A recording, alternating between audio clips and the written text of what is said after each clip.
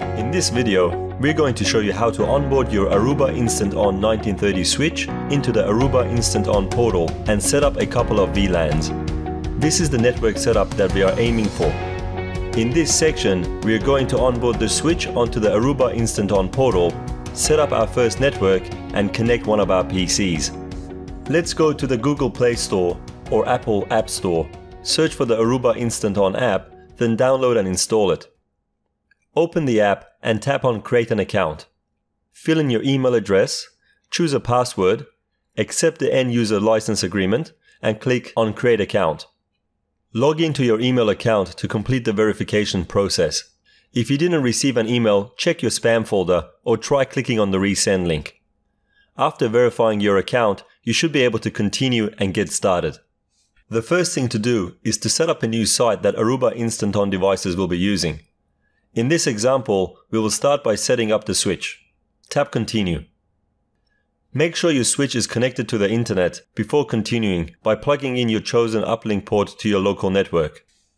Wait until the cloud LED light is flashing green and amber before you try to discover your device. Switch serial number is required to complete device discovery. In this example, we will be using a built-in barcode scanner to enter the serial number. Tap on Search for Devices and your switch will be discovered by the Aruba Instant On portal. Tap on Add Device and you are ready to start configuring your network. Type in your network name, set your country, name your site and click Activate. The network is now ready. Tap on the network tile on the top left corner. Here we can see our default network has been named after our site. Let's change that by tapping on the network and entering your network name. Tap on Done once finished. We can see our network name change. Click on the inventory tile at the bottom right corner. Here we can see our switch. Let's give it a meaningful name. Let's scroll down to have a look at our port status. You can see port 1 is plugged into our router and it's been used for instant on portal management access as indicated by the cloud icon. Let's plug in our marketing PC into port 3. After a few moments, you will see port 3 status change to green. Tap the back button twice to go back to the dashboard. You will see one client connected. Click on the client tile to see more details and then click on the client itself. Let's give it a meaningful name for ease of troubleshooting. We can see it's connected to the marketing network through the office switch on port 3 at 1 gigabit per second. Tap back twice to go back to the dashboard. This is what's been set up so far. In the next section, we will create VLAN 2 for finance, connect port 2 to the finance router, and configure port 4 to connect to the finance PC. On your dashboard, click on the networks tile. Tap on the plus icon at the bottom right to create a new network. Give it a name and a VLAN ID and tap done. You can see our finance VLAN has been created. Tap on the inventory tile at the bottom right corner and tap on our office switch. Scroll to the bottom and tap on Networks tab. You can see that all ports are untagged on our marketing VLAN by default and tagged on finance VLAN. We need to untag ports 2 and 4 on finance VLAN. To do so, select port 2 and tap on port details. Scroll down, select specific network only option select Finance Network and tap Done. Repeat the same process for port 4.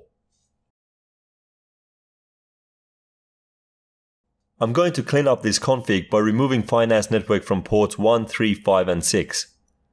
Select port 1, click on port details. Select default network only and click on done. Select port 3 and click on port details. Select specific network only, ensure marketing is the selected network and click on Done. Repeat for ports 5 and 6.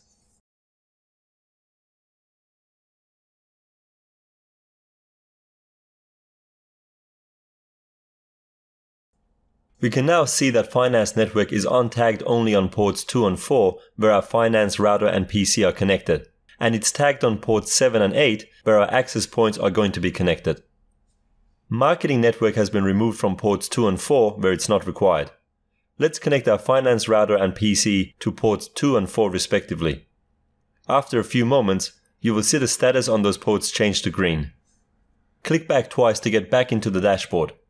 You should be able to see that we have two active networks and that two clients are connected to our network. Click on the Clients tile and click on our newly connected client and you can see it's connecting to our finance network through the Office switch on port 4 at 1 gigabit per second. Let's give it a meaningful name. Click back and select our marketing PC and you can see that it's connecting to our marketing network through the Office switch on port 3. Click back twice to get back to the dashboard.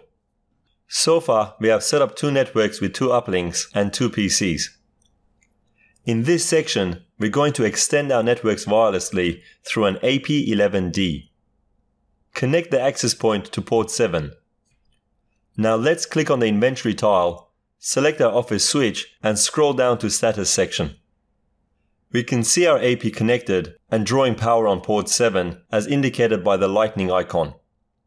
Click back twice, tap on the hamburger icon in the top left corner and select add a new device.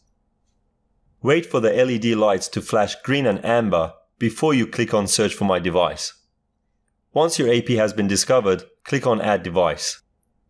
As soon as your AP has been onboarded, a wizard will launch to set up your first wireless network.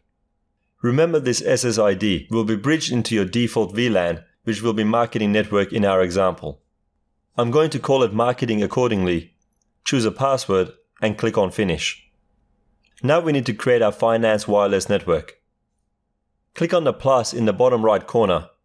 Select create a wireless network, give it an appropriate name and set a password.